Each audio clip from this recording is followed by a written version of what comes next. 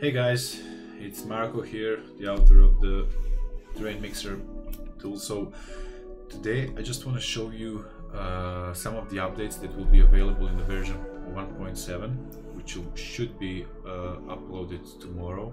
So if you get the version 1.6 now it will be a free update so you know where to go. Uh, also have in mind that uh, some bugs are possible uh, because this is still just you know early early phase. Uh, but it should work. So everything that I show you in this video should work. So uh, let's first start with uh, maybe uh, the most obvious addition to the package and that's this fake sky. So with the fake sky you can literally fake uh, uh, the sky behind your terrain uh, in the background of your terrain. So you just open this collection, choose the fake sky rotator, which is actually an empty, and you go like this. It does not affect the lighting of the scene, so you don't have to worry about that. It's just faking the the sky in the background. You will also get uh, a few of the high quality images you can use. So I think this is really cool. It's not the HDRI, so it won't get heavy on your system or anything. You set the lighting any way you want, um, just with a sun lamp or whatever.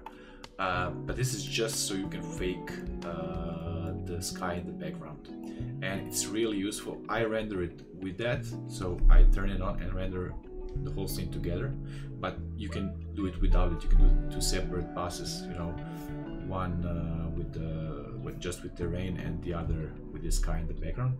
Uh, since you will have these images, you can also apply them later on, you know, uh, in, in your photo editing software. Uh, although I suggest that you try to use them in here because this is actually uh, on a quarter sphere, you know, textured uh, like a texture on a quarter sphere so it's you know it has all this a curvature which adds the realism. You can also test it with your images as well. So that's it. I will turn it off so it doesn't bother us. And I will also change the shading uh, of the terrain.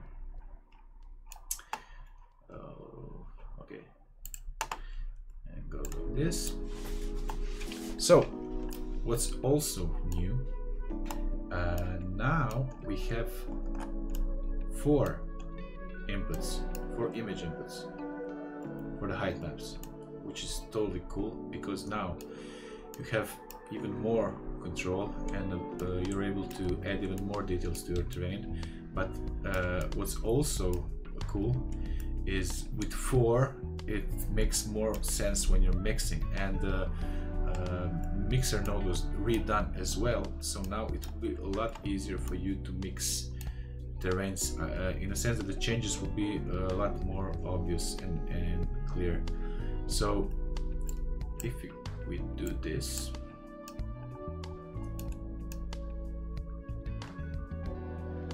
okay, uh, just let me check if there's any rotation and there is.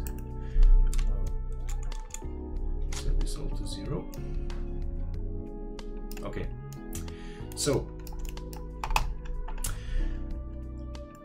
you see that this age mix slider, age mix 1 2 slider is set to 1 and uh, these two are set to 0. Now if I do anything here,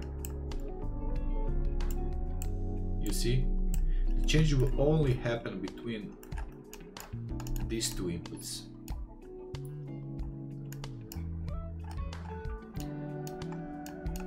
But if I do this, go to the, uh, the third mixer, this age mix 1, 2, 3, 4, and do this.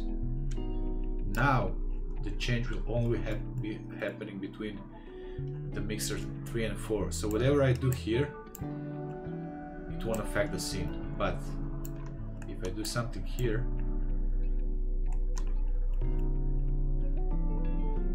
it will affect the scene. Of course, I can use the cascader node if I want to do some cascades and this will work. so you don't have to worry about that. But the the inputs 1 and 2 won't interfere. And of course if you want to combine those four, all four inputs you do this. See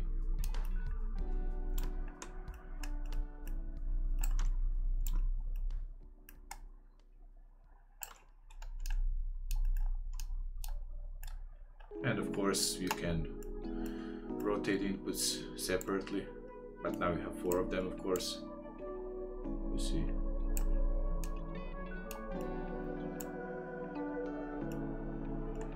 Uh, you will notice that the changes are like really really uh, much more obvious than they were before. Uh, what we have uh, left? Oh yeah. Something really cool. And if we go let me just turn off this. If we go here to all the way to the end where the displacement node is you will see something called uh, skewer. Cool right? And what skewer does let's make it a surprise. What skewer does it skews the terrain of course and its elements. So if I do this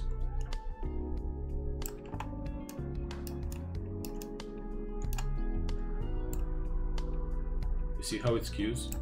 Um, let me just do a combination which will be a bit more obvious. Uh, so let me do this. Okay. So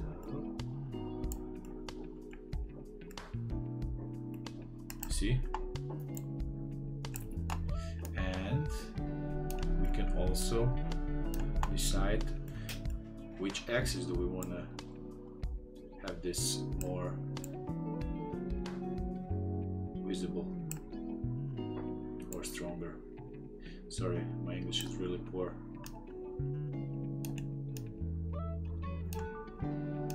I will also show you the example of a successful test. so, but you see what it does, right? So imagine if you have something uh, which is maybe more pronounced. Okay, let's let's let's let's let's let's do this. Let's do this. You see? Uh, now I suggest that you don't use this for baking because you understand how baking works and uh, it only uh, uh catches the you know black and white value, positive and negative value in the z-axis. So everything that, that happens, everything that happens here, you know, wouldn't be baked. You'll just get the stretched line, you know, from here to here. So unfortunately, you can't use that for uh, baking maps.